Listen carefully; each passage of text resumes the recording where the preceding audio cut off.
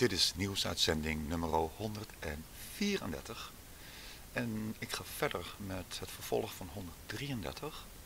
En het is een uitzending die ik maak op verzoek van Jorni22. En dat is iemand die volgt mijn vlog. En die heeft de vraag neergelegd of ik het wilde hebben over vals vlagoperaties. Dit is het tweede deel.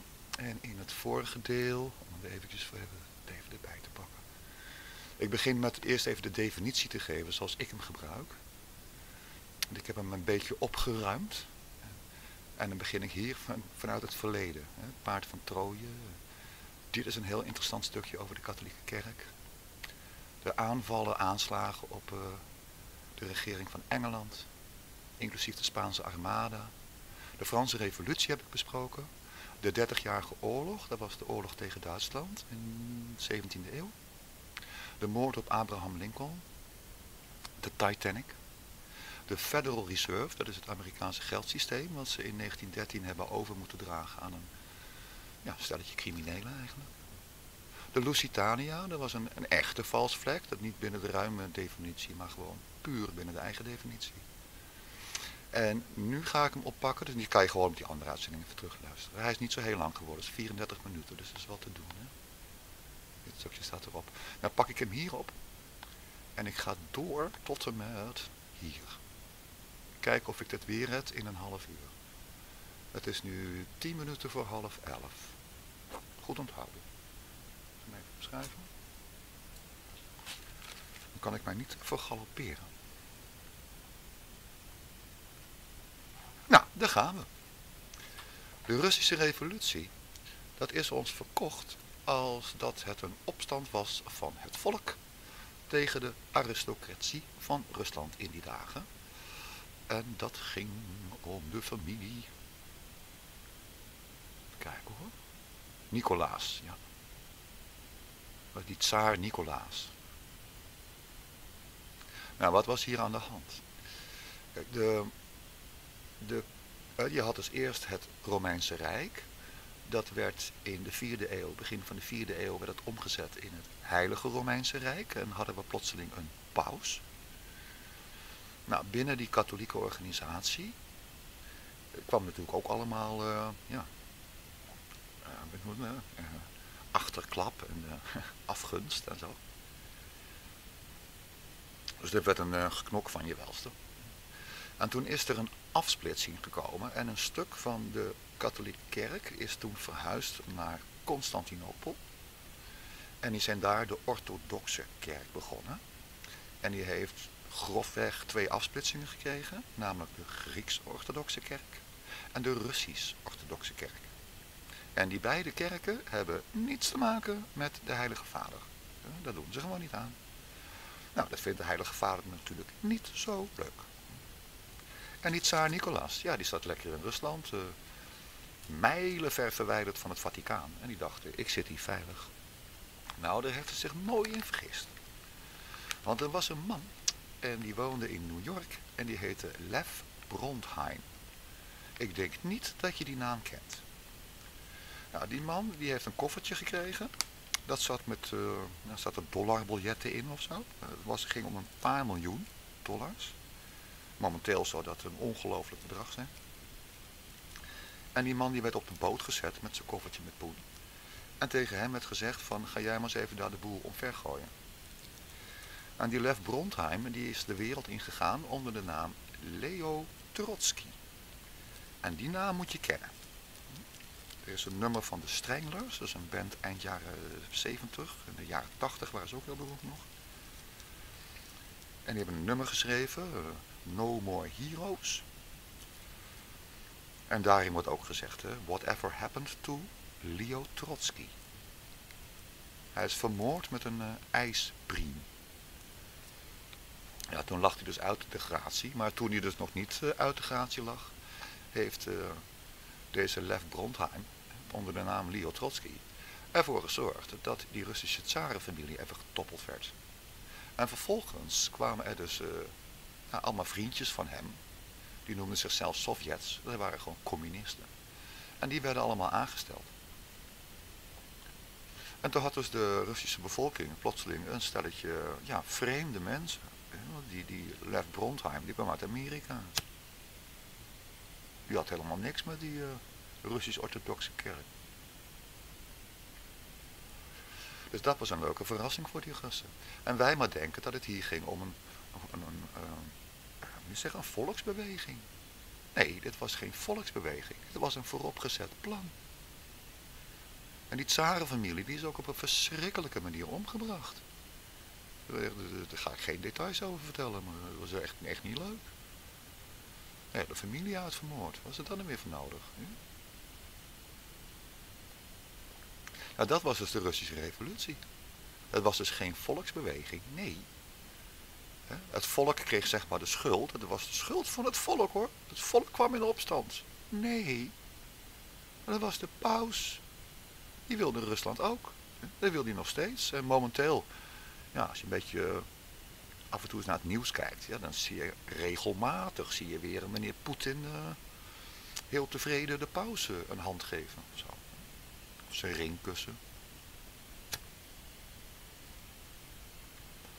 Het is allemaal goed gekomen. Maar dat was dus niet een volksbeweging. En was het wel een volksbeweging geweest, nou dan hadden die mensen zich na afloop wel de haren uit het hoofd kunnen trekken. Want ze hebben hier, het Russische volk heeft hier ongelooflijk voor moeten betalen. Met allemaal hongersnoden en, en boerderijen die geconfiskeerd werden. En, daarna kregen die gulag-archipellen. Oh, oh, oh, oh, oh, het waren die Russen blij met die Russische revolutie. Maar die was ook helemaal niet bedoeld om hun beter te maken, nee. Die was bedoeld om de paus zijn rechtmatige eigendom terug te geven. De paus is gewoon de baas van alle geloven. Dus ook van het Russisch-orthodoxe geloof. En de paus is de baas van alle spullen. En alle poen. En uh, de politieke machthebbers. Als jij iets doet wat de paus niet leuk vindt. Ja, uh, kan je lekker aan de andere kant van de weg gaan lopen. En dat was helemaal geen volksbeweging. Dan krijg je deze. De depressie van 1920, 1921. Nou, daar staat hier vast een heel leuk verhaal in. Over wat er dan allemaal zogenaamd gebeurd is. Maar wat hier gebeurd is, is dat de bankiers van die dagen in Amerika, die hebben margin loans uitgereikt. Afgegeven. En een margin loan, een marginaal, dat betekent een grensmatig, een rekening op de grens. Nou, wat is dan die grens? Nou, die grens was of die mensen die lening wel terug zouden kunnen betalen. Want een margin loan, die kon je krijgen tegen nul voorwaarden. Als je geen onderpand had, dat was helemaal niet erg. Je moest gewoon een contract tekenen en hop, dan had je, ik weet niet wat je dan kreeg, je kreeg pas geen 500 eh, miljoen of zo. Maar wel een leuk bedragje. Nou, daar kan je misschien een brommer voor kopen. En dan ga je een couriersdienst beginnen. Of je koopt een naaimachine en dan word je kleermaker. Nou, iedereen vond dat wel leuk. Maar het angeltje was dat zo'n marginale lening, zo'n grenslening, zo'n lening op de limiet, zeg maar, op een lening op het randje, die kon je dan weliswaar heel makkelijk krijgen. Maar hij kon nog net zo makkelijk weer ingenomen worden. En dat stond eigenlijk aan de bankier. En die kon gewoon op een willekeurig moment zeggen tegen zo'n iemand die een lening had afgesloten. Van ik heb er nog eens over nagedacht. Maar ik wil morgen mijn poen terug. En dan kan je gaan betalen. Per onmiddellijk. En anders ga je de gevangenis in of zo. Nou, toen moest iedereen dus die lening terugbetalen. Niemand kon dat natuurlijk. En die ging dus al die middenstand die je had kunnen financieren met die margin loan, ging allemaal failliet. Maar die toeleveranciers van die middenstand, die kregen dus ook een daling. nou, en zo werd het een domino effect. Maar toen stortte de economie in elkaar. En nu krijgt de economie, die krijgt er dan de schuld van. Maar ja, de economie was, uh, ja, dat was de schuld van de economie hoor. Nee, dat was de schuld van die bankiers. Uh, een bankier, dat is nou juist iemand die zou moeten kunnen beoordelen of iemand een lening wat terug kan betalen. En als een bankier dat onderscheid niet kan maken, en dat hij gewoon geld loopt uit te lenen aan uh, allerlei minkukels die met die poen verdwijnen naar de Noorderzon, of met de Noorderzon moet je dan zeggen, ja, dan ben je niet zo slim bezig als bankier. Hè? En een goede bankier, die doet het dus alleen maar aan mensen die dat echt enigszins... Je mag wel een bepaald risico nemen. Maar hier hebben ze geen risico genomen. Ze wisten zeker, want ze hebben die margin loans niet één voor één ingetrokken. Nee, ben jij gek. Ze hebben ze allemaal ingetrokken. En dan ongeveer 100 jaar later, in het begin van de 21ste eeuw, dan heb ik het over de crisis van 2008, daar had je precies hetzelfde fenomeen. Maar dan heette het subprime mortgages. Dat betekent niet optimale hypotheken. suboptimale hypotheken. En waarom waren die hypotheken suboptimaal? Nou, omdat die bankiers grote twijfels hadden of die mensen die hypotheek wel konden terugbetalen. Daarom waren ze suboptimaal. Niet dat dat geld wat die mensen kregen om dat huis te kopen, dat het geld niet goed was. Dat geld deugde wel, maar de, de, moet je zeggen, de, de, liquiditeit of de, het vermogen te terugbetalen van die mensen die die hypotheken kregen, die was suboptimaal. Nou, dat hebben ze helemaal toegedekt met uh, CDO's, Collateral Debt Obligations, en uh, CDS, Credit, Default Swaps en zo. En al die hypotheken die zijn toen verpakt in financiële producten en die zijn verkocht aan de Nederlandse pensioenfondsen.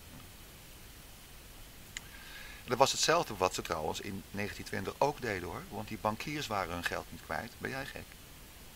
Die schuld hebben ze afgewenteld op de, Nederlandse, op de Nederlandse, nou misschien ook wel op de Nederlandse, maar op de Amerikaanse samenleving.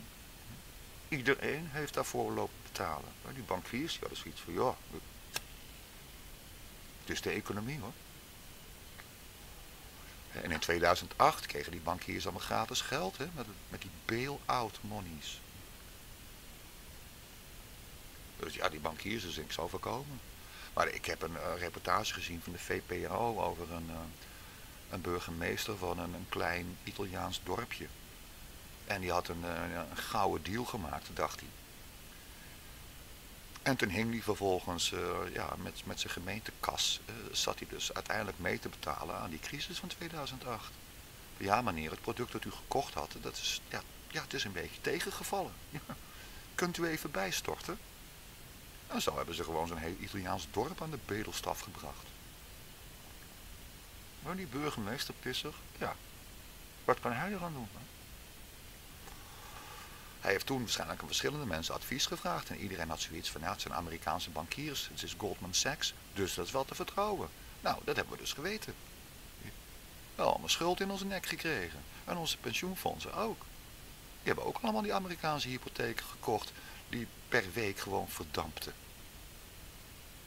Als iemand een huis koopt en hij wordt uit zijn huis gezet en hij zit op de voedselbonnen in, in een of andere dakloze opvang. Ja, die gaat die hypotheek niet meer terug kunnen betalen natuurlijk. Die, die, kan al niet eens zijn doucheruimte betalen. Heeft hij ook een dollar voor nodig en vandaag even geen dollar. En dat was de depressie van 1920 en dat was dus niet de economie die ze de schuld gaven. Of de werkeloosheid of zo. Of in 2008 was het van, ja, al die stoute mensen en die betalen hun hypotheek niet terug. Nee, die mensen zijn allemaal voor de gek gehouden. Maar een bankier die zei, moet je doen joh. Zet maar even je handtekening. En in zijn achterhoofd wist hij wel zeker van, nou, die schuld gaat nooit terugbetaald worden. Maar voordat, we erachter, voordat men daarachter is, heb ik die schuld al doorverkocht. En dan krijg ik ook nog 10% van de opbrengst. Hè? Dat was de depressie van 1920. Dat was gewoon een akfietje, een halemerdijkje van de financiële elite van Amerika van die tijd. Nou, noem dat dan ook gewoon zo. Ga niet lopen zeuren over... Uh, returning troops. Oh ja, de oorlog was voorbij. Ja, de oorlog was voorbij. En toen kwamen die soldaten terug van het front. Nou, en uh, nou, dat wachten we echt. Uh, ja, toen kwamen er zoveel werkers bij. En, en veranderingen in het fiscale en het, en, het, en de monetaire beleid. Nee, het waren die leningen die niet terugbetaald konden worden. En uh, veranderingen in prijsverwachtingen. Nou, dat zegt me al helemaal niks. Dit was een setup, net als in 2008. Dit is een mooie scam. Ik heb hier even een film bij gehaald. En dan ga ik jullie iets heel ergs vertellen. Ik heb mijn dochter, toen ze 14 was of zo, wanneer is deze film uitgekomen? Hmm, kijken, dus van 1950, maar dat kan ook een, een latere upload zijn. Volgens mij was ze iets jonger. Dit is deel 1, het duurt 15 minuten. En deze documentaire film die heet The Greatest Story Never Told. Een uitermate merkwaardig werkje. Achteraf weet ik niet of ik er zo goed aan deed om dat arme kind van mij deze informatie allemaal te laten consumeren. Had ik toen wat meer van moeten weten. Inmiddels weet ik dat. Maar als je deze film kijkt, wat ik je echt kan adviseren hoor. Uh, wat hier gebeurt, dat is echt heel flauw eigenlijk. Uh, de Joden krijgen de schuld. Dat zonder meer. De Duitsers worden helemaal vrijgepleit. Nou, tot op zekere hoogte is dat terecht. Die mensen konden het echt niet weten wat er allemaal aan de hand was. Jullie weten het zelfs nu nog voor het grootste gedeelte niet. Hoe hadden die Duitsers dat dan toen wel moeten weten? Nou, wat in deze film dus verteld wordt, is dat Adolf Hitler was eigenlijk een hele geniale vent en die wilde het allerbeste met Duitsland. Maar de Joden, de Joden, de Joden. En toen, uh, ja, toen kwamen de Joden. En toen heeft Duitsland verloren van de Joden. Nou, het apart aan deze film is, dit is een film van 26 delen. Van ieder een kwartier. 26 gedeeld door 4, dat is 6 ongeveer. Dus een documentaire van meer dan 6 uur. En er zit een hele mooie soundtrack onder. Echt een hele mooie, dat is echt prachtig gedaan hoor. Het is ontzettend goed gemixt. Ze hebben heel veel authentiek materiaal hebben ze weten te verzamelen. En die film daar moet, dat moet klauwen met geld gekost hebben. Nou, wie, oh wie, kan dat nou betaald hebben? die man die, zeg maar, de, moet zeggen, de regisseur was, daar heb ik een radio-interview mee gehoord. Dat kan ik jullie wel heel snel even aanwijzen. Ik kan het zelf ook even bekijken. Staat hier ook. Want dan doe ik hier Searchio. Oké, kom op. Oh, kom op man. Ja. Dan doe ik Adolf Hitler. En kijken waar hij mee komt. En ze komt door. Staat die hierbij? Zit alles? Nee toch? German Call. Uh, nee, die staat hem ook niet. Hij was toch echt hier ergens. Nou, anyway, je moet me even zoeken. Adolf Hitler, The Story Never Told. Het merkwaardige hieraan is, is dat de rol van het Vaticaan in dit geheel totaal verzwegen wordt. Het is net alsof het Vaticaan er niets mee te maken had. Dat was gewoon Adolf Hitler die terecht ruzie ging maken met de Joden. En dat heeft hij verloren. Nou, dat verhaal klopt niet.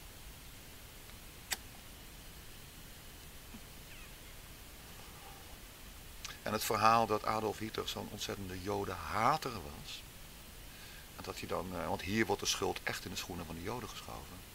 En het andere verhaal is dat de joden allemaal onschuldig waren en Adolf Hitler had een enorme hekel aan de joden. En dat was het. Nou, dat is ook niet waar. Want wie heeft er een hekel aan joden? Dat is meneer de paus. En dat komt omdat die joden niet katholiek zijn. En de orthodoxen zijn dat ook niet, dus daar heeft hij ook een pesthekel aan. En uh, Sinti en Roma, dus die bevolkingsgroepen die wij iets oneerbiedig zigeuners noemen, maar die zijn ook stelstandig. Die hebben er ook helemaal geen zin in. Nou, wie waren er allemaal de bok in de Tweede Wereldoorlog? Protestantse christenen, orthodoxe christenen, zigeuners en joden. En natuurlijk iedereen die tegen de staat was. Dat was het verhaal van Adolf Hitler en de paus. Want Adolf Hitler en de paus, daar krijg allemaal foto's, die heb ik nu niet uh, klaarstaan, maar dat is ook niet zo, niet zo heel belangrijk denk ik. Je kan het zo zien. van die foto's, dat allemaal van die priesters, die geven allemaal die Hitler goed. En uh, de paus en Hitler, dat was gewoon helemaal totaal geregeld. En hij stond totaal onder controle van de paus. En wat is dan Adolf Hitler, de greatest story never told? Nou, dat het meneer uh, het Vaticaan weer eens was. Hij heeft het weer eens gedaan. De paus heeft die man uit laten kiezen, in het zadel geholpen, die heeft ervoor gezorgd dat hij geld kreeg. Ja, En dan aan, de, aan Hitler verzocht van uh, ga zo snel mogelijk oorlog voeren en uh, ja, protestanten afknallen, je weet het wel. Hè? Dat zijn allemaal uh, leuke verhalen hoor. Die, die Duitsers in Stalingrad. Was Stalingrad een militaire operatie? Ze zeggen dan van wel hè. Nou, volgens mij was het gewoon de bedoeling van Stalingrad dat er zoveel mogelijk Duitse soldaten en zoveel mogelijk Russische soldaten aan de andere kant van de heg gingen liggen. Want dan blijven al die vrouwtjes blijven over en die zijn dan van jou. Ja. En als ze dan al een kind hebben, nou dat maakt niet uit. Dat kind dat kan je dan ook op gaan voeden. Want waar moet die vrouw naartoe? De man ligt ergens in de modder. Dat wil zeggen, zijn stoffelijk overschot. En dat was Adolf Hitler aan het doen, in opdracht van de paus. Adolf Hitler moest, moest Amerika, Adolf Hitler moest Duitsland helemaal kapot laten maken. Eerst opstoken met idiote verhalen over dat die Joden het allemaal gedaan hebben. En al die mensen natuurlijk in de bittere armoede vanwege die economische crisis die in Duitsland ook zichzelf voltrok. Er was ongetwijfeld een, een uitwerking van die economische crisis die ze in, in Amerika hadden veroorzaakt. Zou kunnen, dat lijkt me erg aannemelijk. Maar nog wel meer dingen. Ze hebben toen ook die tijd.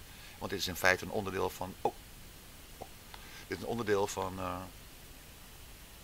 de Tweede Dertigjarige Oorlog. Hè. Die was in 1914 begonnen. In 1918 zogenaamd afgelopen, maar er was een korte adempauze. En toen begon die economische crisis. Er is een hele leuke, dat kan ik zo laten zien. Die, die kan ik heel. Ja, ja. Die Claire's War Germany.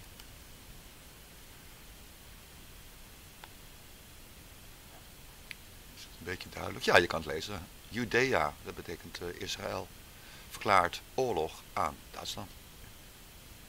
Joden van heel de wereld verenigen zich in actie, in een beweging. Hebben zich verenigd tot een actie. Nou, was er ook zo eentje. Daar, was, hebben ze dus Duitsland ongelooflijk veel. De, de, de, export die klapte met 10% in elkaar. En dit is 1933 of zo. Ja, 1933. Dat kan denk ik niet uitvergroten. Wel. Jawel, jawel, jawel. Ik kan het denk ik nu wel lezen. 1933 staat hierboven. Vrijdag, vrijdag, Friday, maart. Ladde kan ik niet helemaal goed lezen. 1933. Maart 24, 1933.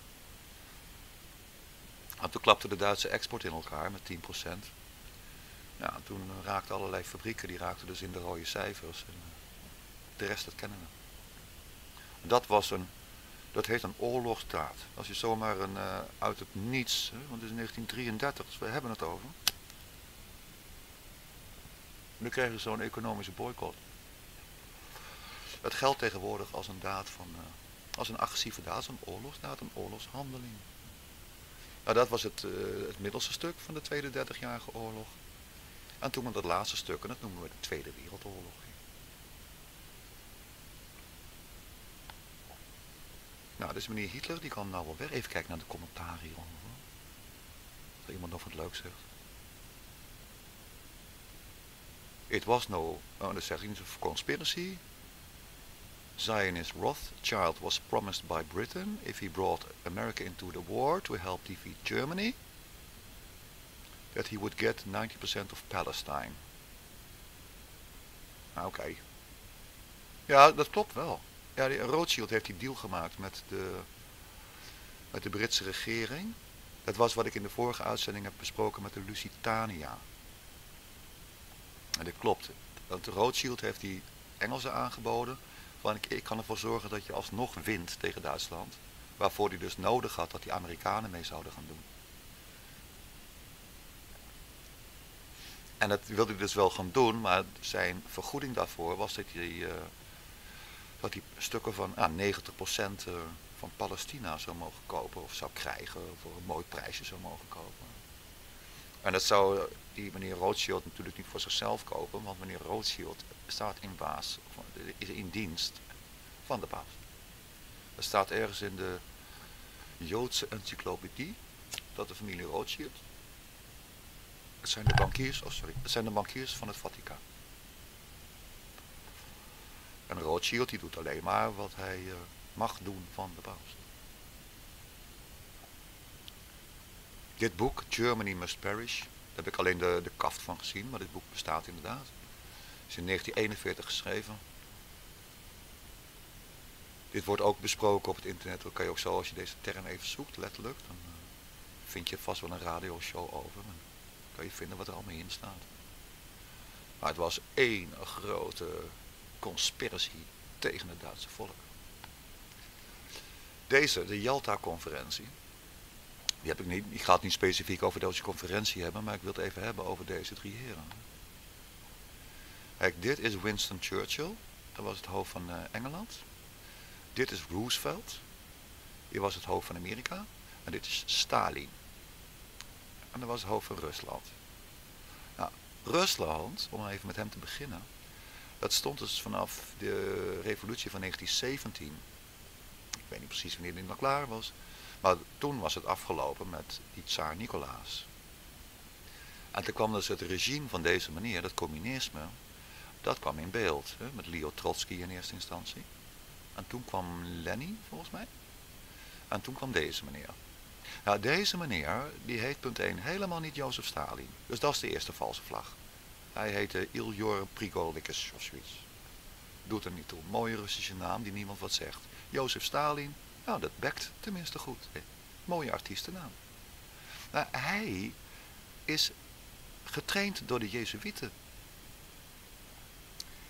En het heeft er alle schijn van dat hij dus ook gewoon, ook toen hij in functie was, gewoon contact hield met de Jezuïeten. En dat hij gewoon de Jezuïet-agenda aan het uitvoeren was. En waarom ook niet? Want de Jezuïeten, dat is, de militaire orde van de paus, die hadden Rusland in handen gekregen. Nou, dan denk je toch niet dat Stalin daar even als een of andere John F. Kennedy, en die komt zo dadelijk aan boord. Maar dat hij even zijn eigen gang kan gaan. Nee, natuurlijk niet. Hij moet precies doen wat de paus zegt. En dat deed Stalin netjes. Net als Adolf Hitler. Ja, die twee, dus Adolf Hitler moesten Duitse jongens naar het oosten sturen. En Jozef Stalin moest Russische jongens naar het westen sturen. En dan maar hopen dat ze min mogelijk terugkomen. Want je wil die regio's in handen. En dan moeten die mannen die moeten eruit. Wat hou je makkelijker onder controle? Duizend vrouwen of duizend mannen? Vrouwen zullen veel eerder vragen om... Mannen zullen veel meer in opstand komen. Vrouwen zijn niet per se van die vechtersbazen. Nou, die man die daar uh, voor hieruit gezien links van hem zit, Roosevelt. Die was dus uit Amerika. Nou, Amerika, het geldsysteem van Amerika was in 1913 al overgenomen door de paus. En hij stond dus gewoon netjes onder controle van de paus hoor. Door hij kon geen dubbeltje uitgeven zonder dat de paus dat via de Federal Reserve goed vond. Ja, dan zit hier Winston Churchill. Nou, die zat toen in de City of London. Ah, de, City of London, ik weet niet of die daar zat, maar de City of London, dat is zo'n staat. Net als Vaticaanstaat. En Winston Churchill, die had niks in de melk te brokkelen. Dat was maar gewoon eigenlijk een ambtenaar. Een soort, uh, net als een Pim Fortuyn of een, eh, een John F. Kennedy. Gewoon netjes doen wat de paus zegt. Want de paus is met belangrijke dingen bezig hoor. Anders wordt het één grote anarchie hier op aarde. Maar deze drie mensen, die speelden dus samen met Adolf Hitler om dat hele grote toneelstuk op te voeren, wat wij de Tweede Wereldoorlog noemen. En wat gewoon de afsluiting was van de Tweede Dertigjarige Oorlog. En toen de capitulatie van Duitsland al getekend was bijvoorbeeld, zijn ze lekker doorgegaan met bombarderen hoor. En ze hebben die Duitse krijgsgevangenen, die hebben ze in de Eisenhower. Of is het... Nee, dat is Roosevelt natuurlijk. En Eisenhower was die, uh, die generaal. Eisenhower dodenkampen. Hebben ze al die Duitse krijgsgevangenen, die dus volgens het oorlogsrecht, moeten die gewoon een bedje krijgen en een dakje en... Uh, ja, minimale voorzieningen zoals toiletpapier en een emmer om in te poepen. Een beetje water en een stuk brood. Nou, die Duitsers kregen helemaal niks, die Duitse krijgsgevangenen. Echt helemaal niks. Geen dekens, geen dak boven het hoofd, geen sanitaire voorzieningen, geen water en geen eten. Nou, wat wil je nog meer? Medicijnen natuurlijk ook niet. En als de lokale bevolking het waagde om een brood over het prikkeldraad te smijten, En die, die wachters die kwamen erachter, die hadden als opdracht om die mensen die dat deden, om die ogenblikkelijk dood te schieten. Ter plekke om te leggen. Ja, dan houdt de lokale bevolking er wel mee op om broden over het prikkeldraad te gooien. Allemaal lekker leuk en gezellig. En Adolf Hitler trouwens, daarvan wordt beweerd dat hij dus, wat de nazi-geleerden, dus al die jongens van de nazi's, die het allemaal in dienst stonden van de paus, die zijn met operatie Paperclip via de red lines, de rattenlijnen, zijn ze een vrijgeleide gegeven, is ze een vrijgeleide gegeven.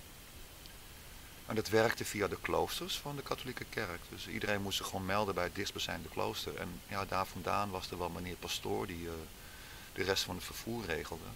En ze zijn voor een deel naar Rusland gegaan, voor een deel naar Zuid-Amerika gegaan en voor een deel naar Amerika gegaan. En de verwachting is, dat is ook wel het meest reële, dat Adolf Hitler, eh, dat hij ook een enkele reis Zuid-Amerika heeft gekregen. Want ja, waarom zal je al die onderdanen, en dan ging het toch echt over 30.000 wetenschappers, waarom zou je die allemaal redden? Terwijl hun gedoodverfde Führer, eh, die heeft het leven gelaten. Dat hoeft toch niet? Maar we weten het niet zeker hoor. Er waren krantenberichten in die tijd. In Patagonië of zo. Dat Hitler uh, was gezien ja, het kan natuurlijk ook zijn dat die krantenberichten vals waren. Daar kan ik er niks over zeggen. Maar wel dat er uh, achter de schermen, uh, in feite door deze drie, plus meneer Adolf de vioolspeler, Adolf Hitler, daar is achter de schermen samengewerkt. En misschien is Hitler wel gewoon ontsnapt of afgevoerd met operatie Paperclip. We krijgen er nu één en dan zijn we lekker thuis de Indonesische onafhankelijkheidsoorlog. Wat is hier valse vlag aan? Nou, wat hier valse vlag aan is, is dat die acties die werden genoemd. Ja, hier staat het eigenlijk wel, hè? die kan ik ook wel aanwijzen. Politionele acties. De politionele acties, dan, als je dat dan hoort, zo'n term, dan denk je, oh, we gaan politie spelen. Nou, de politie, dat is toch je beste vriend. Maar mijn schoonvader, in der tijd, we zaten aan het kerstdiner. En toen kreeg die man, uh, die kreeg het licht te zien of zo. En die begint dus tijdens het kerstdiner te vertellen over wat hij zo al heeft uit moeten vreten. Namens of tijdens die politionele acties, want hij moest er naartoe. Als je niet meeging, dan ben je beschouwd als een, uh, een deserteur. En dan kwam je tussen de, ja, de, dan waren natuurlijk heel veel nazi-gevangenen, van die nationaal socialisten, collaborateurs, NSB'ers en zo. En die zaten dus in plekken als Westerbork en Kamp Vught. Nou, dan werd je gewoon daarin gestopt. Er zijn duizenden jongens, die zijn gewoon uh, in zo'n concentratiekamp, dat zijn het. Concentrationslager, een beetje ja, goedkoop opgezette gevangenissen. Is ingezet. Nou, mijn schoonvader in der tijd, die had dus geen zin in, uh, in opgesloten te worden. En hij dacht, achter kan me overkomen. Ik ga gewoon een beetje de politieagent uithangen. Hè? Politionele acties, kan me nou gebeuren. Nou, zo politie, uh, zo polite. want politie is dan polite op zijn Engels, beleefd. Nou, zo polite was het niet. Hij heeft gewoon verteld dat ze deden aan collectieve straffen. En zei de commandant van een dat en dat dorp, uh, morgen alle mannen weg. Nou, dan vielen ze zo'n dorp binnen met allemaal materieel, waar al die mannen werden gepakt. En die mochten dan hun eigen graf gaan graven. En mijn, uh, mijn schoonvader, ja, die, die mocht ze dan een, een nekschot geven. Geen proces, helemaal niks. En collectief straffen, dat is bij oorlogsrecht verboden. Dus het was helemaal geen politionele actie. Het was gewoon een uitermate vuile oorlog. Tegen mensen en wat wilden ze nou? Die wilden gewoon zelfstandigheid. Waarom zouden wij de baas moeten blijven in Indonesië? We kunnen toch gewoon zaken doen met Indonesië? We hoeven daar toch niet per se de baas te zijn. Maar de paus, die denkt er anders over. Die denkt van ja, als ik Indonesië niet heb, heb ik straks een zelfstandig soeverein Indonesië. Nou, eh, dan gaan andere gebieden denken van, eh, als Indonesië soeverein mag zijn, waarom wij dan niet? Dus die soevereiniteit, die moet overal gekeeld worden. En dan noemen we het maar gewoon politionele acties. hier staat dan ook een resultaat, militaire Nederlandse overwinning. Ja, hoe kan je nou een militaire overwinning hebben met een politionele actie? Taalkundig raken ze echt helemaal in de knoop hier. En die uh, schoonvader van mij, die, hij kwam natuurlijk ergens in begin 1950 of zo, uh, of nee, 49. Even kijken, wanneer zijn er dan, ja, ergens toen moet hij teruggekomen zijn. Ja, en toen ik met hem aan het kerstdiner zat, was dat 1996 of zo. Dus dat was dan 17 jaar daarna. Nee, 27 jaar daarna. Nee, 47, 47 jaar daarna, zoiets. Ja, 47 jaar daarna. En zoals hij er dus over vertelde tijdens het kerstdiner. Ja, hij was echt heel emotioneel. En zijn taal, ja, het was echt even schrikken hoor. Het kerstdiner viel even stil. En toen zei mijn schoonmoeder, wie lust er nog wat salade? Nou, toen ging het uh, diner weer door en toen hield mijn uh, schoonvader gewoon voor de rest van de tijd zijn mol. Ah, we hebben nog grapjes gemaakt, we hebben nog jenever gedronken. We hebben het gewoon niet meer over gehad. Het was heel duidelijk dat die man zwaar getraumatiseerd was.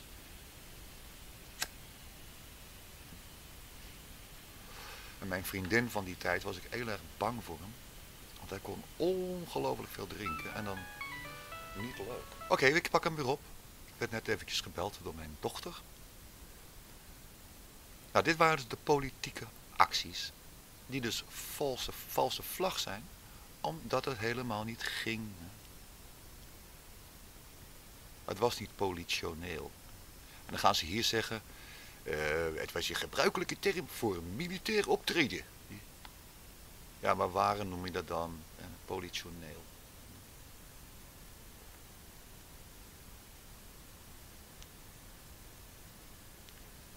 Het gebruik van de kwalificatie politioneel kan ook worden gezien als een manier om te verbloemen dat het hier om een vrijheidsoorlog ging en zo kritiek op het militaire optreden te pareren. Ja, dat is wat ik ook beweer. Ja, ik wil je ook even herinneren dat die jongens die naar uh, Libanon gingen en uh, naar uh, Joegoslavië, voormalig Joegoslavië in de jaren negentig. Dat, dat heette dan vredesmissies. Nou, ik ken jongens die dus teruggekomen zijn van zo'n vredesmissie. Nou, die hadden echt niet het idee gehad dat ze daar bezig waren geweest met het verspreiden van vrede. Ze hadden meer het idee dat ze bezig waren geweest met de boel daar nog meer op te stoken, tot en met daadwerkelijk militaire handelingen tegen burgers en whatever maar wat. Die jongens zijn getraumatiseerd teruggekomen. Want ze zijn onder het mom van een vredesmissie op oorlogsmissie gestuurd militaire missie. Gewoon schieten met kogels en gooien met bommen en granaten. Het was helemaal geen vredesmissie en dit was geen politionele actie. En wat hadden we echt te zoeken? Hadden we Indonesië soms gekocht van die mensen? Dacht het niet hoor. Dit is weer een hele leuke. Dan gaan we naar Israël toe probeer weer een beetje de... Want die politionele acties, dat was uh, 1948 dus, 1949. Dit is vijf jaar later. En hier staat dan ook echt letterlijk false flag operation. En het gaat over Egyptische joden. Die zijn in dienst genomen door de Israëlische militaire veiligheidsdienst om bommen te plaatsen in Egyptische, Amerikaanse en Britse burgerdoelen, bioscopen, bibliotheken en Amerikaanse scholen, educatiecentrums, centra. Nou, de aanvallen die werden in de schoenen geschoven van de Muslim Brotherhood, Egyptische communisten, uh, ongespecificeerde bozerikken of uh, lokale uh, nationalisten. Lekker vaag allemaal. Maar het waren dus Egyptische Joden. En die militaire inlichtingendienst, die zat erachter. Dat hele akkefietje, dat is genoemd de Lavon-affaire. En de codenaam was Operatie Susanna. Maar het heet de Lavon-affaire omdat het gaat om meneer Lavon. Ja, de resignation van Lavon. Oh, waar staat zijn hele naam nou? Oh, hier, hier staat hij. Pinjas Lavon. Dat was... Oh, oké, hij was de Israëlische minister van Defensie. En hij heette Pinjas Lavon. En hij moest toen ontslag nemen. Omdat ze erachter gekomen waren wat er onder zijn regime dus eventjes was gebeurd. En ze hadden dus geprobeerd om ja, Egyptenaren, al die, hele groep van de Moslim Brotherhood en de Egyptische communisten en al die anderen, even de schuld te geven van bomaanslagen op Egyptische, Amerikaanse en Britse doelen. En dan ook nog een keer burgerdoelen. En de Egyptenaren zouden dus lekker allemaal de schuld van krijgen. Nou, dit heet een, is een klassieke false flag operation. En is het ook nog zo dat die medewerkers, die, dat dus aan, ja, die mensen die dat georganiseerd hebben of echt die bommen hebben neergelegd, die zijn later, en dat is pas in 2003 geweest of zo, hebben ze nog een medaille gekregen. Nou, dan weet je ook gelijk hoe men er daarover nadenkt. Hè? Over zo'n false flag operation. Dat vinden ze eigenlijk uh, wat tof. Daar kan je een medaille voor krijgen.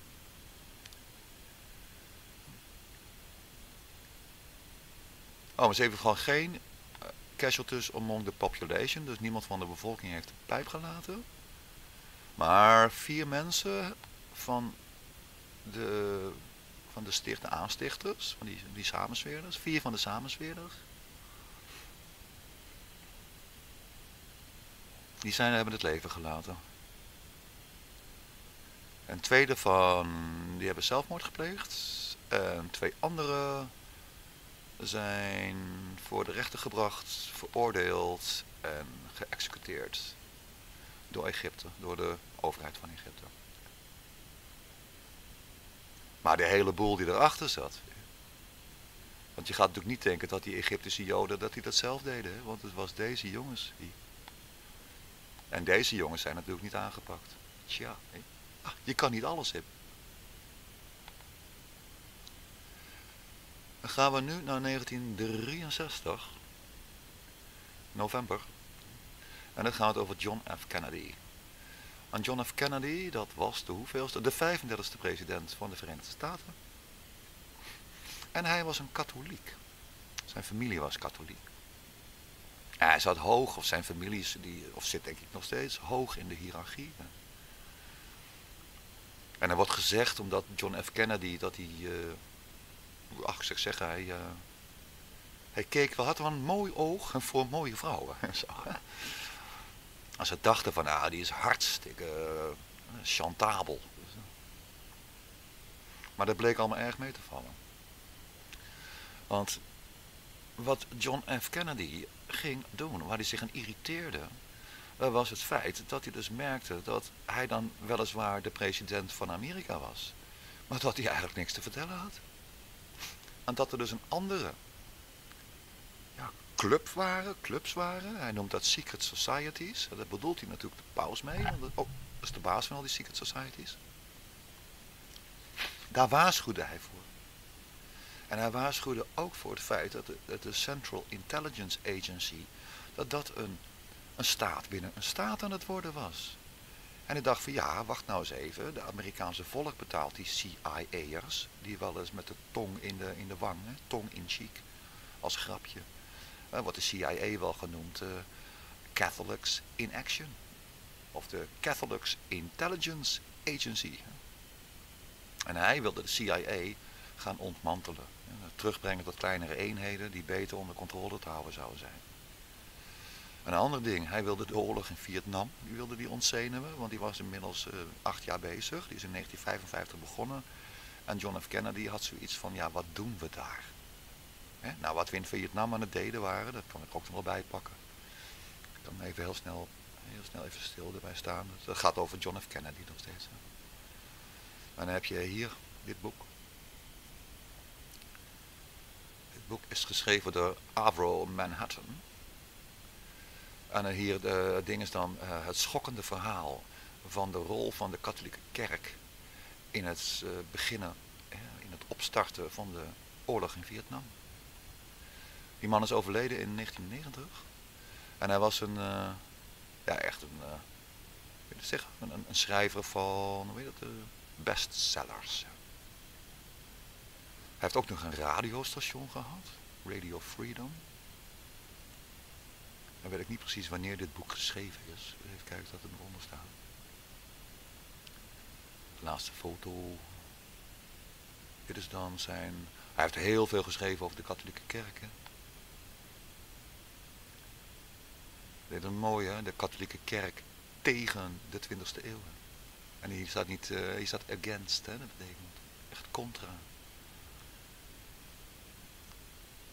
Even kijken, hier kan ik het hier nog vinden. Vietnam Why Did We Go, 1984. Kan je het over nazoeken. Nou, uh, John F. Kennedy vroeg zich dat dus ook af. Die had men, ja, dit boek had hij niet kunnen lezen, want dat was pas in 1984. Maar in 1963 had eh, John F. Kennedy al in de gaten dat die oorlog in Vietnam, dat die niet uh, ja, in, in het belang was van het Amerikaanse volk. En, er gingen dus wel allemaal uh, Amerikaanse gelden naartoe en, allemaal dure vliegtuigen en dure helikopters. En, en hij, uh, John F. Kennedy, die vond het in 1963 eigenlijk wel mooi geweest. Dat hij dacht van kom, we gaan eens wat anders doen met al die jongens en al dat geld. En dan het allerergste wat John F. Kennedy uh, had gedaan, of had gewild, is dat hij dus dat, dat, dat monopolie van de Federal Reserve Bank uit 1913 waarmee Amerika zijn eigen geldsysteem was kwijtgeraakt. En als ze dan een beetje liquide middelenruimte nodig hadden, ja, dan moesten ze gelijk ongelofelijke rentes gaan betalen. Of ze kregen het geld helemaal niet, als dat waar ze het geld voor nodig dachten te gaan hebben, dat dat niet mocht van de paus. En toen dacht eh, John F. Kennedy, ja, wat stellen we ons nou aan? we laten die Federal Reserve gewoon lekker voor wat hij is, mag maar prima. Maar ik heb nog een hele grote stapel goud. En daar laat ik gewoon uh, munten van slaan. Nou, dan heb ik weer allemaal geld. ja, al die dingen bij elkaar, dat vond de paus niet zo... Uh, nou, dat zijn allemaal niet zulke goede ideeën volgens de paus. Nou, toen kwam er dus dat bezoekje aan uh, Daily Plaza of zo. Daar, uh, waar was het ook alweer? Houston of zo, hè? Time Office. Even kijken, wat dat was toch Houston. Oh nee, Dallas natuurlijk, echt natuurlijk Dallas. En dat was dan Lee Harvey Oswald. Nou, de, iedereen is er overheen gevallen. Bijna niemand gelooft dit nog.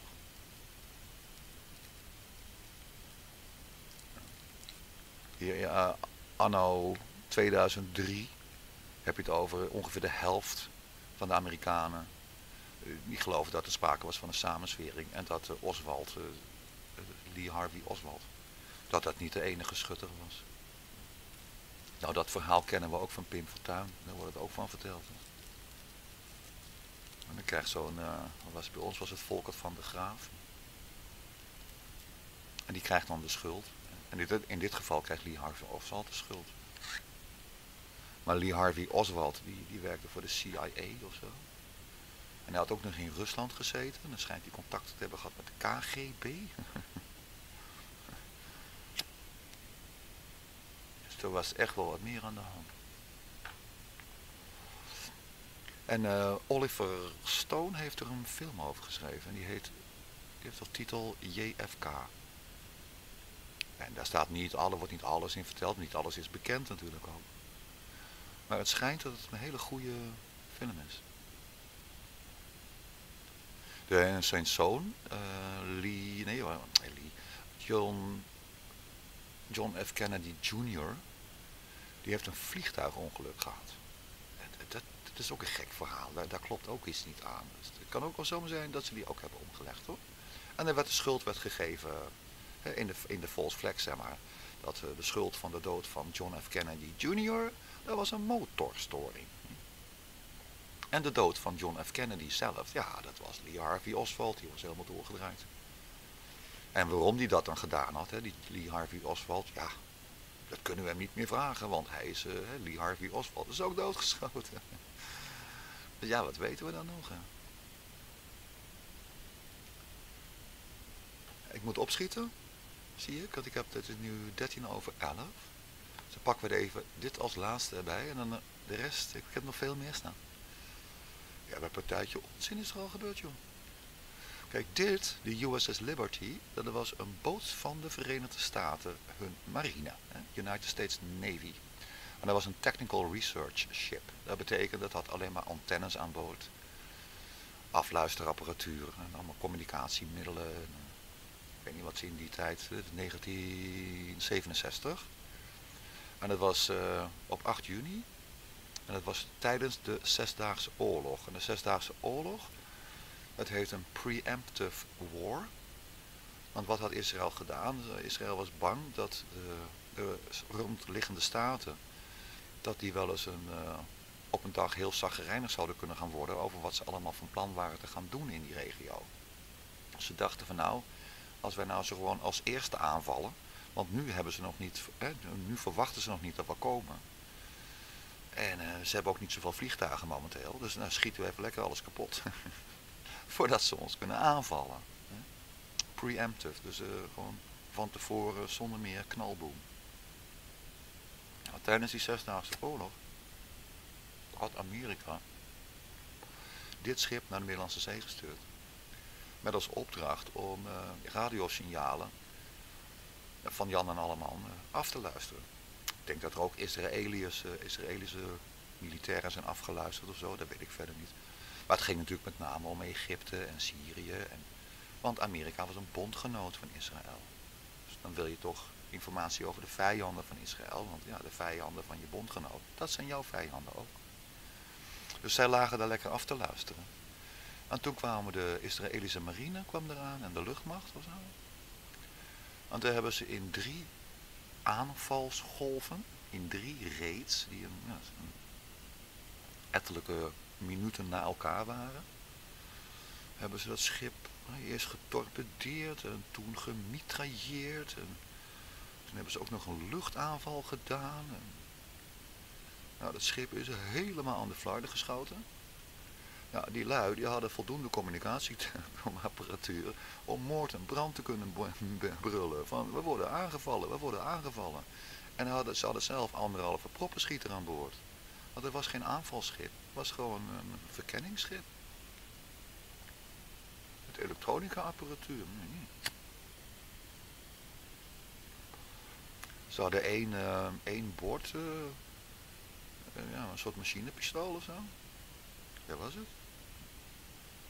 Ja, en die mariniers hadden, of die marinemensen misschien allemaal een pistool, maar je mee gehad? Ja, dan krijg je toch de Israëlische marine tegenover je met torpedoboten maak je niet zoveel kansen. Nou, dat kwam dus, dat lekte helemaal door naar het Amerikaanse hoofdkwartier in Amerika. En met het verzoek dus van die mensen ter plekke, die dus bij de Middellandse Zee waren, die dus wisten dat hun collega's uh, ernstige problemen hadden om het hoofd boven water te houden, in letterlijke zin. En ze vroegen dus om uh, ja, toestemming om assistentie te verlenen. En toen heeft, en dat moet Roosevelt geweest zijn. Anyway, in elk geval, de, toenmalige Bobo van Amerika, die heeft gezegd nee. Ik wil dat schip naar de bodem van de Middellandse Zee. Hebben jullie dat goed begrepen? Dus dat schip mocht geen assistentie krijgen. Nou, en het is allemaal uitgelekt doordat de overlevenden die er nog waren, ja, die hebben gewoon zo goed en zo kwaad als het, als het ging, want die, die Israëliërs die dropen uiteindelijk af. Toen hebben ze dat schip weer aan de praat gekregen en zijn ze hakketakken puf puf naar Cyprus of zo gevaren. Nou, daar is dat ding opgekalefaterd. dat hij weer goed genoeg was om de Atlantische Oceaan over te steken. En toen zijn ze naar huis gevaren. En op Cyprus kregen ze nog even een bezoekje van een admiraal die de overlevende toesprak. En die zei van als ik merk dat jullie hierover gaan praten, dan krijg je een heel erg groot probleem. Dus hier ga je je mond over houden. Goed begrepen. Ze werden ongelooflijk hard aangepakt. En iedereen bang. En een van die uh, opvarenden, die heeft er jaren later een, uh, een, biografisch boek over geschreven. Een soort verhaal achteraf, misschien een soort dagboek. Niet echt een dagboek, want dat moet je op het moment zelf schrijven, maar wel zoiets. Zo'n dag tot dag beschrijving wat er allemaal gebeurd is. En vooral wat er dus na afloop gebeurde, hoor, dat, daar reizen je de haren te bergen van. Nou, wat zit hier nou achter? Nou, het was natuurlijk de bedoeling dat dat verkenningsschip, dat zou dan gedowned worden door de Israëlische marine en en de luchtmacht. En vervolgens zouden de Egyptenaren, of de Egyptenaren en de Syriërs, of de, wat heb je nog meer daar, hm? die zouden de schuld krijgen. Nou, dan zou het Amerikaanse volk natuurlijk zeggen, ja, maar dat kan zomaar niet. Dat doe je toch niet? Een verkenningsschip aanvallen? Dat is niet eerlijk. In de hoop dan natuurlijk om Amerika te betrekken in die Zesdaagse Oorlog. Nou, dat is dus niet gelukt. En toen was die oorlog na zes dagen voorbij. En de valse vlag was dus alles in de schoenen schuiven van de Egypte. Kijk hoor. Zat 4, 47 kilometer naar het noordwesten van de Egyptische stad Arish. Nou, ik kan die er even bij pakken. Waar zat het schip ongeveer? Oh, daar zat hij. Oké, dus dan zouden ze hier een heel klein stukje boven. Daar zaten ze. Ze zaten dus voor de Egyptische kust. Noordwest, ja, dat is hier. Ze zaten niet eens in de buurt van Israël. En ze zaten duidelijk die Egyptenaren af te luisteren. En ik heb ook al boze tongen gelezen die zeiden van nee, ze waren eh, de Israëlische marine uh, waren gegevens aan het doorspelen aan Egypte. Dat is gewoon uitermate onlogisch lijkt me dat hoor.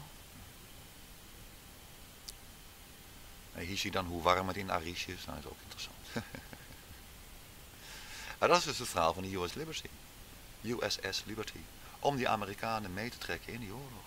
Dat is mooi niet gelukt. En dat is maar goed ook. Ik ga volgende keer ga ik verder met, even erbij pakken, dat wordt weer hartstikke interessant natuurlijk. Waar zijn we nu? Oh ja, Golf van Tonkin, dat is heel leuk. En hier mis ik trouwens nog een paar bij, maar die, die kan ik nog even over nadenken of ik die nog aan kan vullen. En uiteindelijk ga ik het overige, gewoon dingen die niet specifiek echt aan te wijzen zijn als één operatie, maar die wel degelijk een valse vlagproject inhouden. Dus dat je iets doet en het doet voorkomen alsof het om iets heel anders gaat. Waardoor niemand in de gaten heeft wat jij aan het doen bent. En dat is mensen voor de gek houden. Nou, dat, eh, je kan maar beter weten hoe je voor de gek wordt gehouden, lijkt mij. Nou, reuze bedankt dat jullie eh, dit uitgeluisterd hebben. Ik hoop dat jullie er wat van opgestoken hebben. En heb je een tip of nog een vraag, zet maar een, een, commentaartje eronder. Dan zal ik er naar kijken. Hey, op zijn hamburgers, ik tjus. Dag lieverds.